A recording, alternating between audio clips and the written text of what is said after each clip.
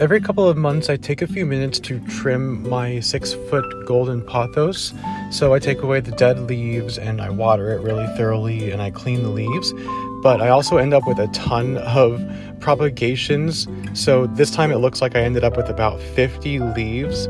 So I added about five leaves per pot that I can give away to friends and I can take to plant swaps. But I also keep a few for myself just because they're so much fun to grow and they grow so quickly, so they're super satisfying to watch.